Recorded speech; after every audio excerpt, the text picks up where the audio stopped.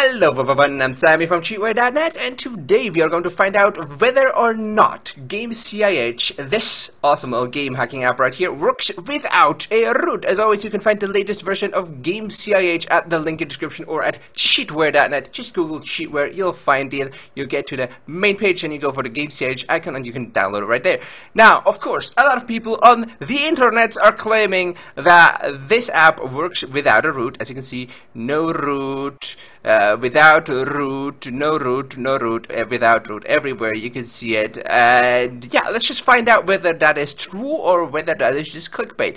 As you can see, this is an emulator of mine. It works exactly like a normal Android phone. As you can see, I have disabled my root at the moment, so that should not be a thing. If we're using root checker, you can see that the root in, on this device is not properly installed. Therefore, there are no root privileges available available. So let's start up game CIH.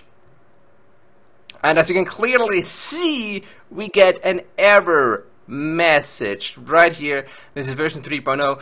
Uh, error. No root, root users only. Oh. And there's sadly no way to get around that because, guys, what you have to know about memory editors and game hacking tools is that this little app right here, the game hacking tool, or this one, or whichever one you're using, has to access the memory of other apps. That means it, this can only be done, and this can only be done with root access, unless you're a system app, which you are by default not able to install on Android devices. Therefore, there is absolutely no way to get GameCIH to work with that root. However, there are other ways to cheat in games without a root, okay? you don't need GameCIH to cheat in games. So, here's an example. This is a modded APK, right? I'm still in the tutorial. As you can see, I have unlimited money. So what a modded APK is, is basically a modified game. It's an APK that you download and install on your device. You don't need a root, you don't need anything at all.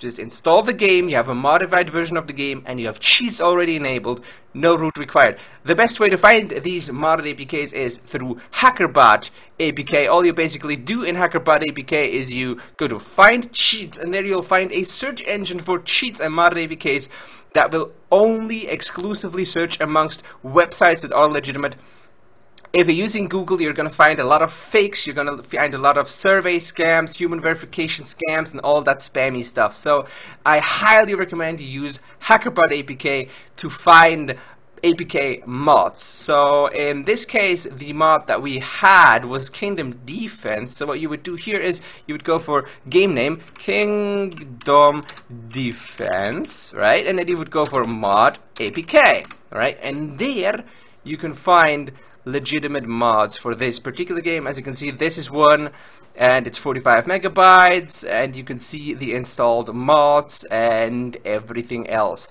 And infinite gems, as you can see right here, and there are other mods for this as well. And usually, modded APKs will not require root. There is very rare cases where you need a file manager to install modded APKs, but most of them don't need anything like that. Anyways, guys, that is the explanation of whether or not GameCIH needs a root. It definitely does need a root. There's no way around it, but there are good alternatives for rooting your device, such as using HackerBot APK to find modded APKs. Thanks, you guys, for watching. As always, you'll find all the links that I've mentioned in this video in the description down below. By the way, another good method of getting around rooting your actual Android device is using an emulator such as this one, which has toggleable root for example, there'll be a link in the description to such emulators that are either easily rootable, come with root installed, or have other rooting options such as toggleable root. Anyways, guys, thanks you guys for watching, and I will see you guys next time.